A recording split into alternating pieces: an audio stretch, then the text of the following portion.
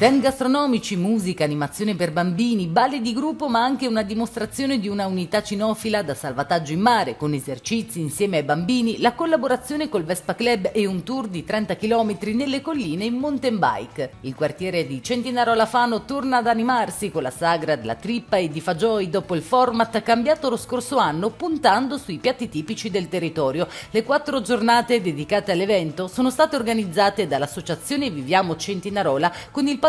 della Proloco e del Comune di Fano. Quest'anno abbiamo la grandissima novità del giovedì 8 eh, giugno dove faremo una festa dedicata ai ragazzi e ai giovani con due DJ, DJ Michele Cenci e DJ M che allieteranno la serata per tutti i ragazzi o per gli appassionati di musica eh, diciamo più giovanile. E poi torniamo alla tradizione il 9, il 10 e l'11 giugno con appuntamenti stand gastronomici della nostra famosissima bellissima trippa e dei nostri fagioli e non mancheranno musiche, esibizioni, ci saranno tutte le sere orchestre e, e tutti i giochi anche dedicati ai bambini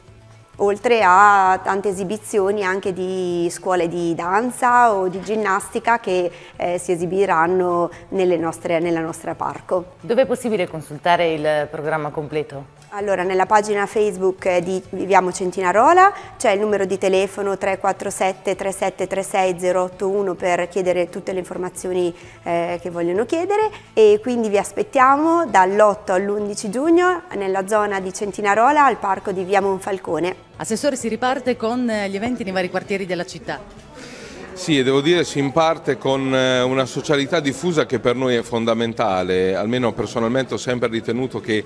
questa vitalità, questo modo di fare sempre un passo avanti verso una cultura della partecipazione, verso la costruzione di qualcosa di bello nella città è una cosa importante per tutti noi. E che tutti i quartieri hanno, dall'anno scorso hanno iniziato a riprendere, quest'anno continuano una serie di eventi importanti perché si continuano a conoscere le persone, eh, si continua a partecipare la città, a fare degli eventi che sono positivi per tutti, quindi ci si incontra, si discute, si dialoga. Quindi sono momenti molto importanti e devo fare complimenti a questi ragazzi di in questo caso di Centinarola che insomma ci mettono tutta la voglia possibile per creare un evento che non è mai facile, creare questi momenti di aggregazione è sempre molto difficile, anzi quindi è bene che tutte le persone che vogliono diano supporto a questi ragazzi che si impegnano e credo che parte della crescita della città si debba proprio alle persone che si muovono e fanno qualcosa un passo in avanti. Quando le persone si pongono così anche noi amministratori siamo sensibilizzati